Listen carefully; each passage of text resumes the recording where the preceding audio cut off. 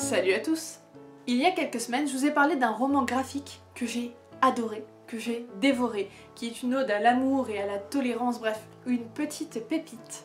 Et je vais pas vous mentir, euh, une fois que j'ai terminé le tome 1, j'ai immédiatement sauté sur le tome 2 et ça ne m'a pris que quelques heures pour le lire. Voilà, pour vous donner un ordre d'idée au niveau de l'addiction. Pour celles et ceux qui me suivent sur les réseaux, ce n'est pas un mystère, aujourd'hui on va parler de Heartstopper, tome 2 de Alice Osman aux éditions Hachette Roman et c'est traduit par Valérie Drouet. Petit conseil avant de commencer vraiment cette vidéo, regardez la vidéo du tome 1 avant celle du tome 2. Voilà. C'est l'histoire de deux garçons, deux adolescents qui ont appris à se connaître et sont devenus amis. Il y a eu une soirée, il y a eu un baiser et tout a explosé. Suite à ce moment intime, Nick a quelque peu paniqué et Charlie, voyant la réaction de Nick, il est parti de la soirée le cœur serré. Mais est-ce que c'était vraiment une erreur? Non. Nick, il aime Charlie, Charlie, il aime Nick, seulement voilà, euh, Nick, il sait pas trop où il en est, il sait pas trop s'il aime les garçons, s'il aime les filles, s'il aime les deux, il sait pas où il en est, il est perdu. Il veut être avec Charlie, mais il a énormément peur du regard des autres. Est-ce qu'il va réussir à annoncer à sa famille et à ses amis que voilà, il est tombé amoureux d'un garçon? C'est compliqué. En tout cas, ce qui est sûr, c'est qu'il va chercher à savoir qui il est et il ne sera pas seul. Charlie sera à ses côtés et main dans la main, ils vont avancer doucement, mais sûrement. Comme d'habitude, on va parler de l'aspect extérieur avant l'aspect intérieur et on va parler de cette merveilleuse couverture. Personnellement, je la préfère au tome 1. Attendez, le tome 1 est derrière moi. Tome 1, tome 2. Moi, je préfère celle-là. Je, je, vais pas vous mentir, hein. je la trouve plus chaleureuse et plus douce. Je pense que c'est dû au choix des couleurs, avec le orange, le rouge orangé, tout ça. Je sais pas, ça réchauffe en fait l'image par rapport à celle-ci qui est beaucoup plus, euh, comment dirais-je, qui est beaucoup plus froide. J'aime voir l'évolution de Nick et Charlie en fonction des couvertures. Donc la première c'était, on va dire, une relation qui semblait plutôt amicale, plutôt platonique. Et là, on est clairement sur une relation qui s'assume déjà un petit peu plus, mais qui reste très discrète avec ce petit euh, mouvement des mains.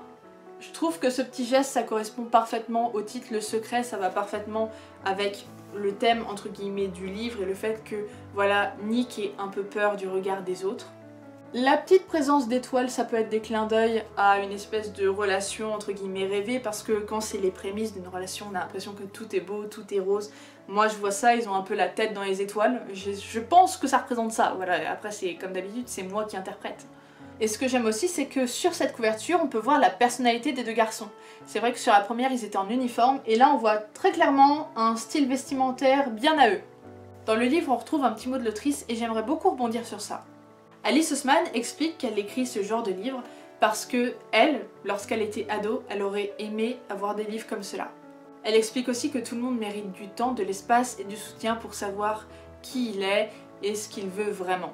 Je partage entièrement son avis sur ce point et d'ailleurs je suis entièrement d'accord sur le fait que j'ai l'impression que tout le monde n'a pas de safe place, un endroit où il se sent bien et je partage également l'avis d'Alice Osman moi, ma safe place, c'est des livres comme les siens, c'est des livres comme je vous propose dans ma bibliothèque, etc.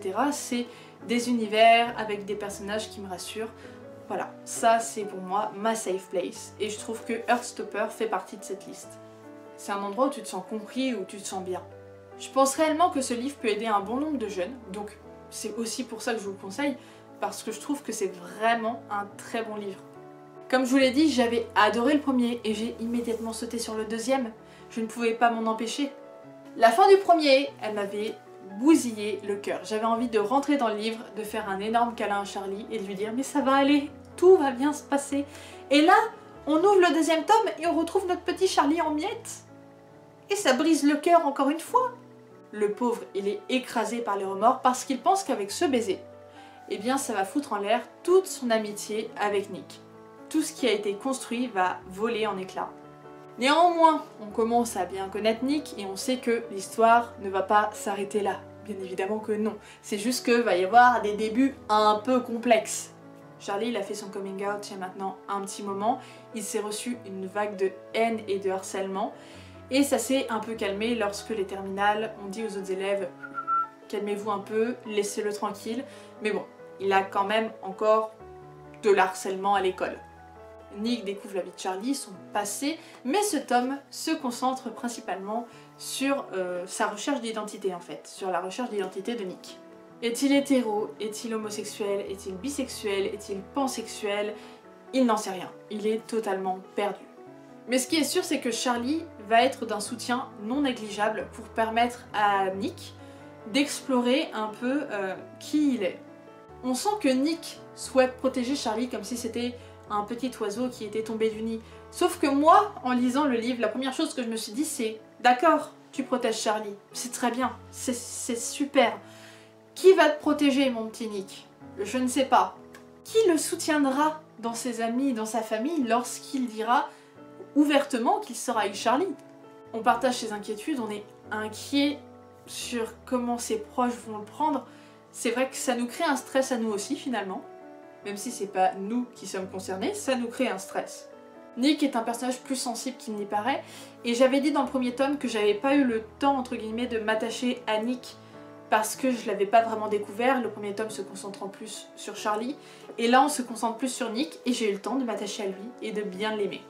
Ce second tome se concentre sur la différence, ainsi que des conséquences de ne pas rentrer dans le moule préétabli de la société.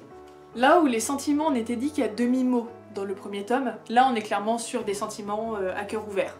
Même si Nick garde la relation un peu secrète avec Charlie, ça ne l'empêche pas de l'aimer follement et d'avoir des petites attentions pour lui, etc.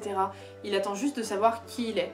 Et ce qui est assez mignon, c'est que chacun essaye d'introduire l'autre dans son groupe d'amis, et ils ont vraiment des amis totalement différents. Donc c'est assez amusant d'en voir un tenter de séduire les amis de l'autre et vice versa. Bon, ça ne se passe pas toujours comme prévu parce qu'ils viennent d'univers relativement différents, mais ils essayent. Cette histoire est absolument adorable, pleine d'amour et de positivité. C'est réellement un endroit chaleureux où on se sent bien. Et ça, c'est grâce à l'écriture et au talent d'Alice Osman. Ça, il n'y a pas à chier, elle est très douée. On est sur un petit nuage, c'est une ode à la différence, c'est très cool.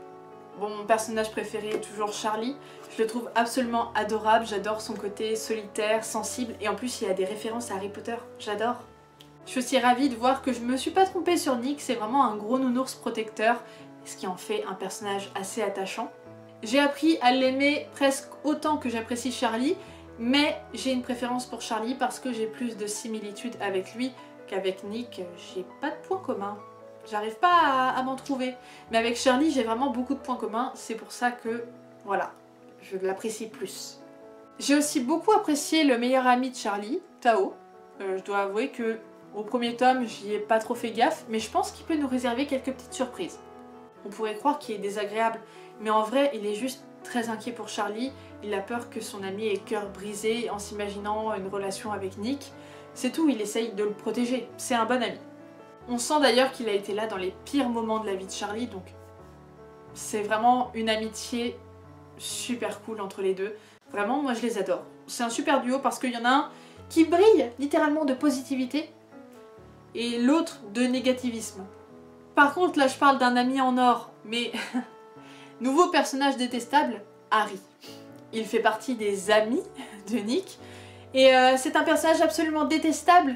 C'est le grand méchant, c'est la définition même d'homophobie et d'intolérance, voilà. Il passe son temps à persécuter Charlie, et je vous jure, on a envie de le taper. Ça nous frustre de ne pas pouvoir agir, mais on espère très fortement pendant tout le long du livre que quelqu'un va le remettre à sa place. Dans ce tome, on retrouve à la fin une micro-histoire, celle de Darcy et Tara. Darcy et Tara, c'est deux jeunes filles qui sont amies avec Nick et qui sont une sorte de soutien pour lui extérieur à Charlie on avait très peu d'informations sur ces deux demoiselles. Et du coup, j'apprécie qu'Alice Osman ait fait une sorte de mini-histoire pour nous raconter bah, leur petite histoire d'amour, enfin du moins les prémices de leur histoire d'amour. C'est adorable et je me dis que peut-être elles prendront un peu plus de place dans les prochains tomes, enfin du moins je l'espère, parce que je les trouve vraiment super. Bien évidemment, c'est encore un coup de cœur, une vraie lecture doudou, on est sur un nuage, on se sent bien quand on lit les livres d'Alice Osman, Enfin, du moins, les Heartstoppers. Je me suis pas encore lancée dans les autres. Je les ai, mais je me suis pas encore lancée. Les dessins sont simplistes et adorables. On ne peine pas du tout à rentrer dans l'univers. Et d'ailleurs, j'ai toujours trouvé que les personnages d'Alice Osman étaient toujours très expressifs. Et ça, j'apprécie. Le langage est proche de nous, donc on a l'impression voilà, d'être amis avec Nick et Charlie, ce qui est très agréable comme sensation. Je vous le conseille sincèrement et je suis sûre que cette lecture peut plaire à beaucoup d'entre vous. En tout cas, merci d'avoir regardé cette vidéo. Si elle t'a plu, n'hésite pas à la liker, à la commenter, à la partager à tes amis, à t'abonner, ça fait toujours plaisir. Et je te dis à bientôt dans une prochaine vidéo. Salut